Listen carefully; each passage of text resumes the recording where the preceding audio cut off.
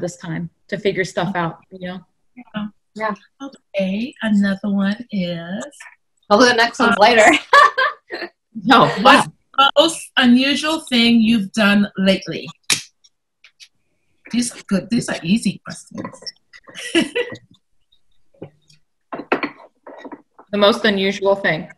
Yes. That you've done lately. I made out with cupcakes. I- no lie. I was, I watching, like the answer.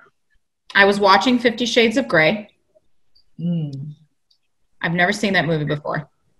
And I went into the kitchen Mhm. and I was by myself.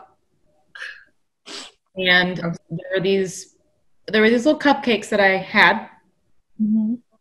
and they they had the icing on top, and then they had a blueberry center. And I was like, oh, I just want the blueberry center. So I stuck my tongue in the blueberry center to just try to get the center. And then I ended up fully making out with the cupcake. I think we can all relate. that is I think so we can all funny. And then I was like, and then I had a moment where I was like, what the fuck did I just do? And I pulled back. I have pictures of the cupcakes, by the way. I'm show you. because I couldn't believe it. And then I was like, hold on. I was like, did I just make out with fucking cupcakes? And then I was like, yes, I did. No, no, no.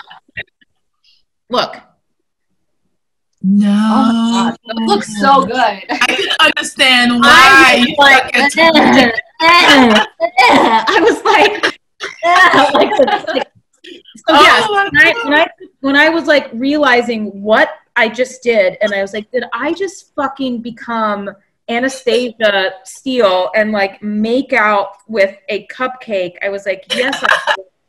and that was amazing. And I'm gonna Yeah. do it. Other three that are right here. So I made out with cupcakes. What I did What? How was it? recently.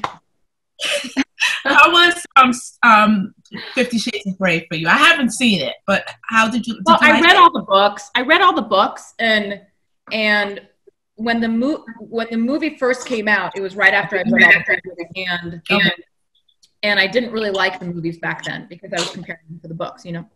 And then now that some time has passed, and you know, and I'm watching it now, I just love it.